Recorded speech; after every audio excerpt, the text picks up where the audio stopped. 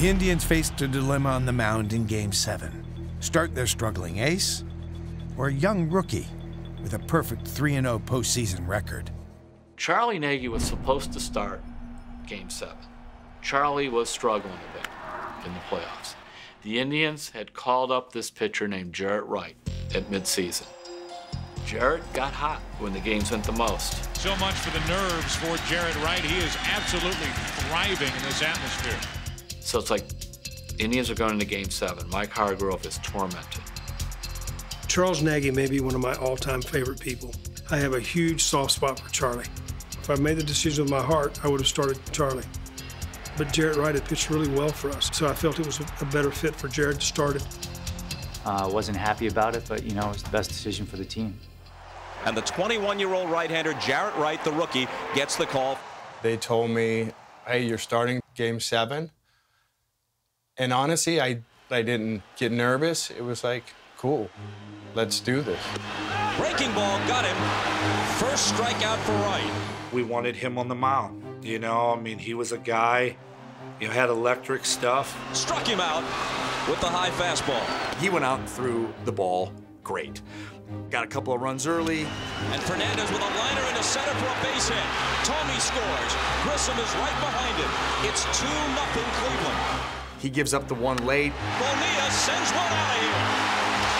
And it's a 2-1 game in the seventh inning of game seven. Now you, you know it's getting late, and the tension is palpable because you realize you're nine outs away, eight outs away. You have the lead. It's a one-run game as we go to the bottom of the ninth. So in the ninth, I went up into the clubhouse. And when I went up into the clubhouse, they were building the stage and they were putting the plastic over the lockers. And I remember thinking, not yet. Not yet. I decided to go to the bathroom and I saw a bunch of champagne moving from one side to another, you know, uh, trying to prepare for the celebration. I remember being called down and didn't want to leave my seat. Fought it. Said, hey, I'm not going to the locker room. Don't want to go. We're not. No, you've got to go. You've got to go. Major League Baseball protocol. You go. So I went. I have to go to the clubhouse to do our post-game interviews and whatnot, and I'm in there watching the ninth inning. They're stapling up the plastic on the lockers. They're wheeling in the World Series trophy. Trophies in our locker room. Biggest jinx ever. This doesn't feel right. It's like we are tempting the baseball gods here. I remember hating that feeling. I wish I hadn't seen it it was weird just to see that. I wish I would have never go to the bathroom on that particular evening and see that. And then sure enough, you know, you could just see it unraveling. Moises Alou led the inning off with a little broken bat single out in left center field. Alou just poked it, but it got the job done. And anytime somebody leads the inning off with a broken bat, anything, it usually doesn't turn out well. Mesa would strike out Bobby Bonilla for the first out. But then, after getting Charles Johnson to a 1-2 count, the Indians couldn't all get on the same page. You know, we hardly ever called pitches. In that game, I called fastball in because the two fastballs had been away. One and two to Johnson. Sometimes the manager are too intelligent and call the pitch from the dugout and relays the sign to, to the catcher. I just felt like he threw a fastball in, Charles was out. And uh, Jose kept checking it off, didn't want it. If you never called the game on me, why are you going to call the game tonight? You know what I mean? Let me pitch my game. I know how to do it. Jose shook it off, and I said, you know, let him throw what he wants to throw. Threw a little slider away that he hit a little dinker out to right field. A line drive to right that drops for a hit. Alou is on his way to third. Runners at the corners with one out. And it's like, uh-oh. This inning just got real complicated because now they got runners on the corners. Then the next guy was uh, Craig Counsell. He hit a fly ball to right field, tied the game. Deep drive to right. Ramirez makes the catch. Tagging is Alou. Game seven of the World Series is tied.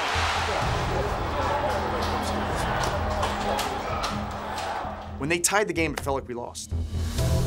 It was, oh my good God, maybe it's because I grew up in Cleveland. This is eerily familiar and it stinks. And boy, you've never seen plastic come down faster or trophy get wheeled out of a clubhouse quicker. Extra innings in game seven. Now it's an extra innings. Indians are running out of pitchers. Here comes Charlie Nagy in from the bullpen. I don't know when was the last time Charlie pitched in relief. You know, 100 years it felt like. Prior to tonight, Charles Nagy had made 211 big league appearances, one of them in relief. Our bullpen had been gassed. Charlie really had no business even being in there. I mean, quite frankly, it wasn't his role. The Marlins come up in the bottom of the 11th. Yeah, I came in and uh, Bobby Boat, base hit. Hit hard through the middle for a leadoff hit. And then they bunt it. Uh, I caught it, almost doubled him off at first base, didn't. And he is able to get back. Roller to second. Uh, okay, double play right here. Then you, you, turn around and the ball's rolling in the right field. Fernandez has it go through him. Bonilla will try for third. You know, when you got a guy in second base like Tony Fernandez, easy ground ball, and he boot it. So, you know, that'll tell you, you know, everything going right for the Marlins. Nothing you can do about it, you know. So then you're like, uh-oh. Then all of a sudden you, you got first and third. Uh, then we intentionally walked the bases loaded. Devon White was up, jammed him, ground ball to second. To Fernandez, he's got to come home, and it is in time to Alomar. And then Renteria came up. So now Renteria bats with two out. Start him off with a breaking ball, kind of buckled him a little bit. And a breaking ball is in there. Came back with it, and he just kind of hit one of these knucklers at me, kind of off the end of the bat. Yeah, it was kind of slow motion. That was the slowest, that super slow-mo hit that I ever seen. The ball just going over Nagy's head. You can see the ball just barely reaching. You know, it just kind of floated. He didn't hit it all that great, but... It was hit just right. And it kind of tipped off the top of my glove. And, you know, that was a ball game right there. A liner off Nagy's glove into center field. The Florida Marlins have won the World Series. You're thinking this isn't happening. And it did. The image I have in my head is Counsell, both arms in the air, coming across home plate. Game over. It was like a knife just went through your heart. It was the most, the most heartbreaking feel I've ever had as a baseball player because we fought so hard that year to get back to the World Series and we couldn't finish it.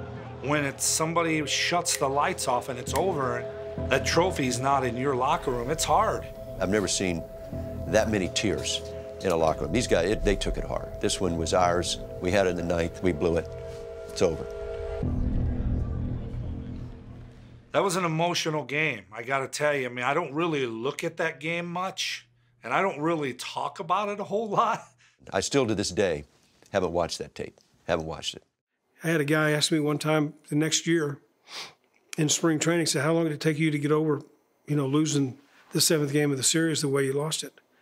And I said, "Well, just as soon as it happens, I'll I'll let you know." I had a guy ask me about two months ago, said, "How long did it take you to get over that?" And I said, "Just as soon as it happens, I'll let you know." So you don't forget.